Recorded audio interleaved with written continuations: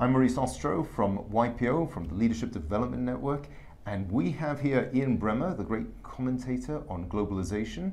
And we would love to ask you, Ian, it's the very beginning. Davos is just about to start.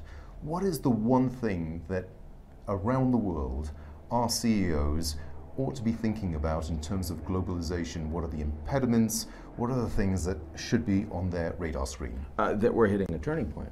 I mean, if I think about all of our lives, globalization has been moving towards more openness, right? More porous borders for people, ideas, goods, services, data. That was true after World War II ended. It became even more true when the Chinese started opening in the 70s and 80s, even more true in 1988. The wall comes down, 91, the Soviet Union collapses. And yet now, for the first time in our lifetimes, the fact that the Americans and the Chinese are actively decoupling their technology systems for each other is the most meaningful step away from globalization that we've ever experienced.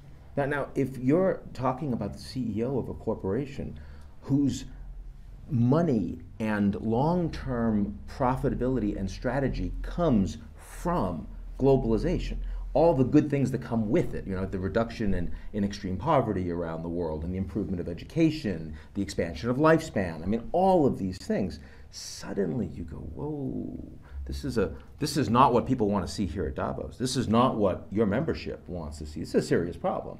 And, and it's not reversible anytime soon. So that, that's what they're worried about, and that's what they need to be addressing and adapting themselves for. A worrying message, but forewarned is forearmed, and hopefully our members and others here will have some ideas to repair some of this rift. And even if you think it's unlikely that it'll happen very soon, we need to be prepared. So, as businesses, how we react. So, thank you very much. Thank you for joining us sure. and for setting the scene for our members as we come into this first week of Davos 2020. Good talking Maurice. Thank you. Yeah.